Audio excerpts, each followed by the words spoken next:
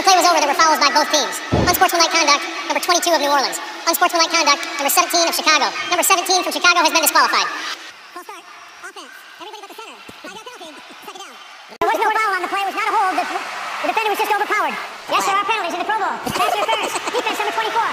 The ball is placed at the one yard line. First down. And keep in mind, you have a new center for Carson Palmer this year. The whole offensive line. Five yard penalty. The whole offensive line. Second down. The ball was snapped. False start. Offense number 79 was moving backwards. Five yard penalty. It's second down. There were two fouls by the defense. Offense. That, uh, correct. I'm sorry.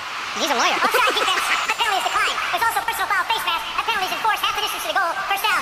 Foul on the prior play. My flag was being returned to me. It was tossed back to me at the ground. When that happened, the clock operator thought there was a penalty and stopped the clock. The clock should have continued to run. There should be tw- uh, 12 seconds taken off the clock. So it should be 124. Take the play clock down 12 seconds as well.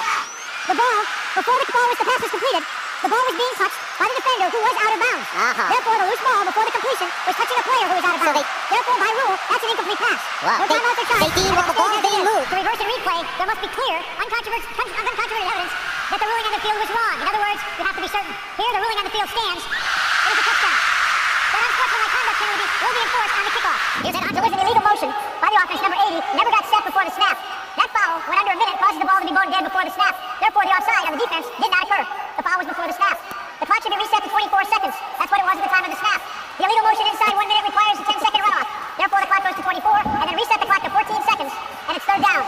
Personal foul, roughing the face mask, defense, half the distance to the goal. Personal foul, unnecessary roughness on the defense, number 94.